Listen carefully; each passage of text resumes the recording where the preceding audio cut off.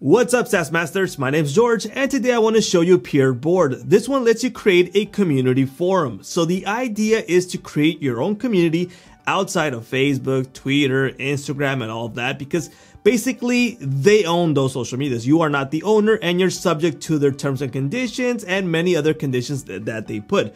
So this gives you another option. So right now, Peerboard seems uh, really simple in my opinion, and we're gonna see that in this video. Now, who would I recommend this to? I would recommend it to people who have a very specific niche of people who are interested in a certain topic.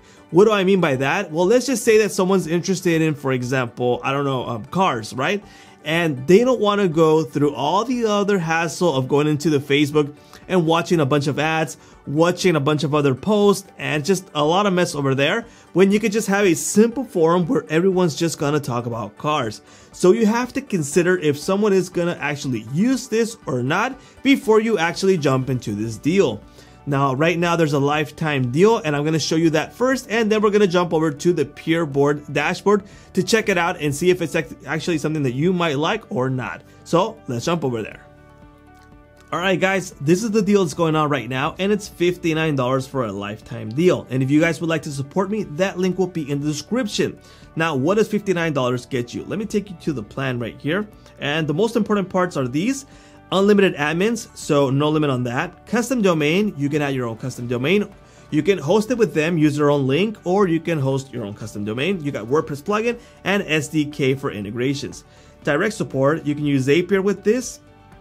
And the other thing that's interesting is this, you get one custom domain, 100 gigabytes of content. So that is fairly enough unless you plan on just uploading a bunch of images every single day, then that might reach really quickly, right? The limit might reach really quickly. 1,000 active members. So 1,000 members is quite a lot unless you're planning to go really serious with this and grow in the future or you have a bunch of users already. Then 1000 is not enough. I would suggest jumping to the double code, which is the suggestible plan because you get unlimited active members and you get to remove the Peerboard branding. Now in the footer, there's a little branding there that you can remove it with the double code. And that's only $118, so not a bad price for unlimited users. Now the downside about this, and that's the main part about it, is that the dashboard is pretty simple, right? It's it's plain, there's not a lot going on, which could be a good thing or a bad thing if you're looking for a really flashy, nice looking modern um, template right here, theme, then this not might be for you. Let me show you how the user is going to uh, view this because we got some um, settings right here that are for the admin. This is a user dashboard. This is how they're going to view it. So in this case, they got the main post right here. They got the welcome screen. So they got the information for the welcome, all the information like what is SaaS Master, who are our members, community guidelines, all that. You can edit this uh, as an admin and you can view posts right here. Something that I dislike really quickly here is that you don't view the image. In this post, I added an image and it's not viewing it right here. So you got to click on it to actually view the image. So we have the title, it's in the general um, tab. You got this deal, so that's my description that I just added. It can be as long as you want or short as you want.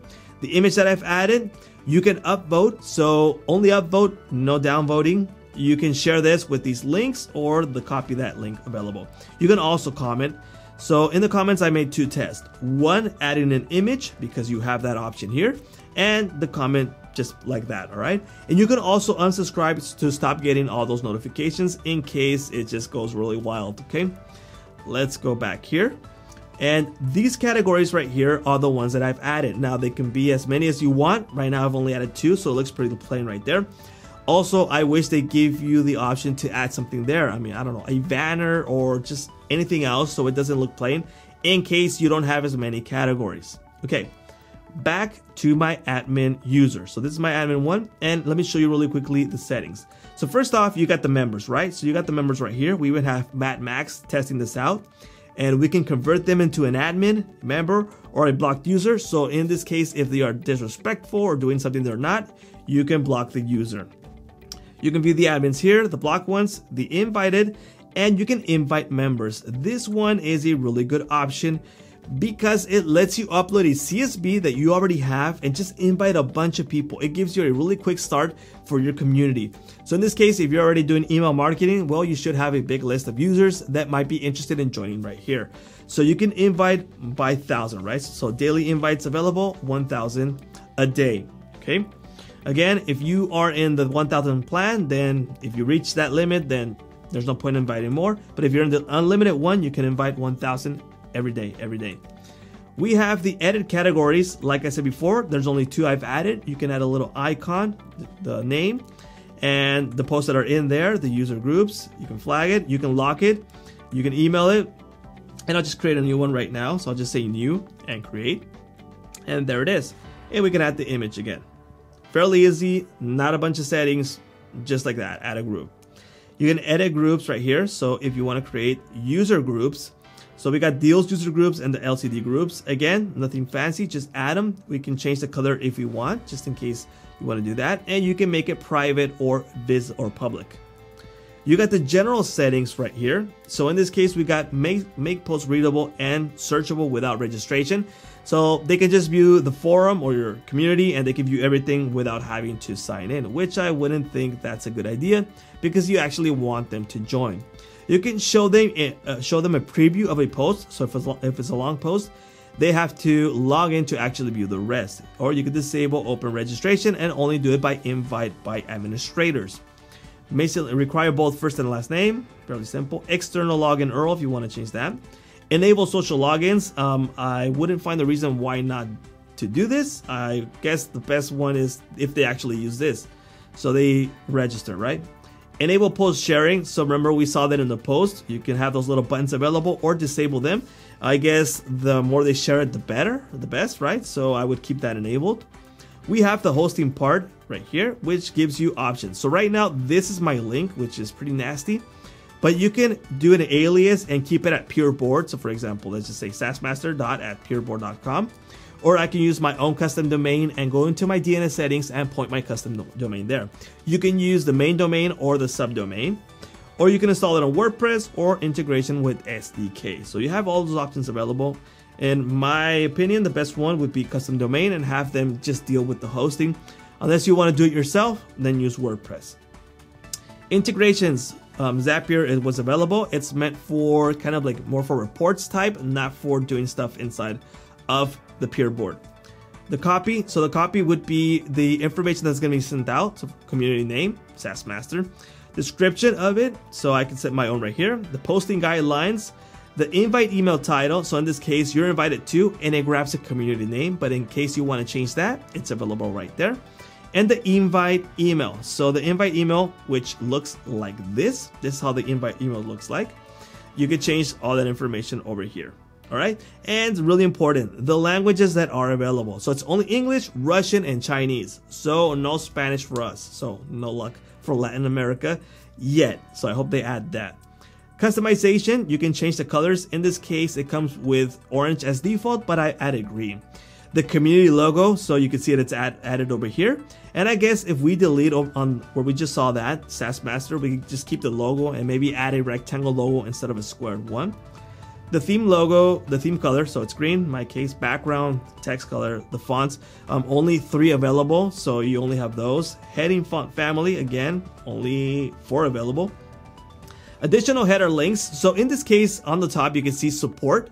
I added that link right there, and it will take you to another site. So I just said support, and it goes to somewhere else. I could say something like contact, um, a form that you might want to fill out or whatever you want, you can add those links right there. So it's pretty useful to have that there.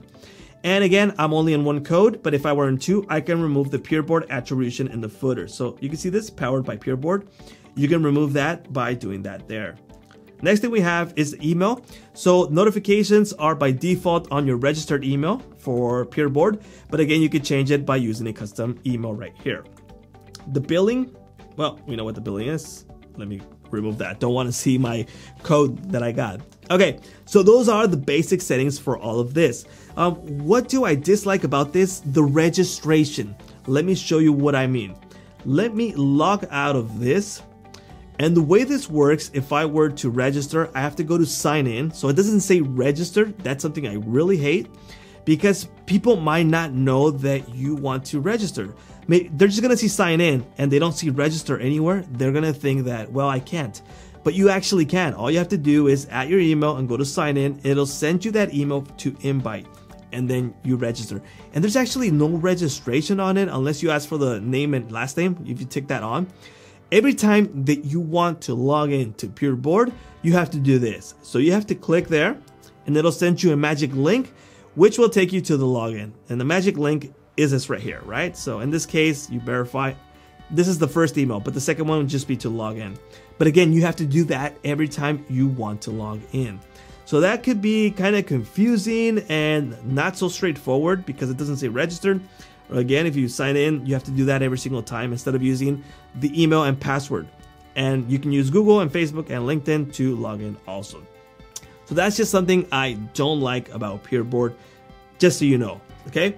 So basically, that is how PeerBoard works. Let me show you the roadmap before we head out. This is the roadmap. It's interesting. This is what's coming soon. So internal notification system. So you get notification tab. So right now, if there's a new post or something, there's no notification. Um, read states and post comments, post types, category subscription, user mentions. This will be interesting. The user mentions because you might want to mention someone else just like you do on Facebook where you tag another user. And later on, they're coming with more integrations, posted comments, comments widgets, and the one on one chat. This one is also a really good one because just like Facebook, you got Messenger and you can chat one on one, which is, I would think, it's important. Plus, you can do some feature requests and all of that. Um, this roadmap is barely launched. Um, not launched, they got nine months ago, but they barely got this information and that's what they're working on because they just barely launched on AppSumo. So I know they will be getting a bunch of feedback and they might be modifying this because people will ask for things that they might need more promptly than what they have in stored for the next, for the coming soon, right? Just something that you should consider. Okay, last but not least, should you get PeerBoard? Basically, in, in my case, I don't like the look. It's too simple for me, but it might be good for someone else, maybe for a more mature audience. And again, who is PeerBoard for? I think it's for a very specific niche of users that you might want to create a community for. If you don't have a very specific niche, then you might not be successful creating that community because people might might want to jump to Facebook, Twitter, Instagram, and all of those. Now, why would someone jump into community? Well, because they hate Facebook, they hate Twitter, they hate going in through, for example, um, I don't know, business post and then memes and then fun post and just whatever and then ads and all that and they might not find the interesting stuff there. So you might want to have a specific community where you have everything really clean and nice. So if someone wants to talk just about, I don't know, BMW cars, well, that's the only thing that they're going to talk about, and they know they will find it in your community. So that's a very specific niche. So that just that's my suggestion for you guys. If you have a very specific niche, then this could be successful for you. Now again, $118 for the unlimited users. I think it's a good deal. Just sets up with a 200 gigabyte content storage because why would I be careful about that? Because there's no way of like mass deleting or there's no option to say delete posts that are older than like one year two years. They might implement that later, but again, you could hit that 200 gigabyte limit and then you have to go one by one and go delete images and posts. So that could be annoying. So just things to consider for PeerBoard if you are considering getting it. Well, there you go, guys. That's a video for it. And like I said before, if you guys would like to consider um, supporting me, that link will be in the description. It gives you a small commission and it won't cost you a single cent more. Thank you for watching. My name is George and this is SaaS Master. I'll see you guys later.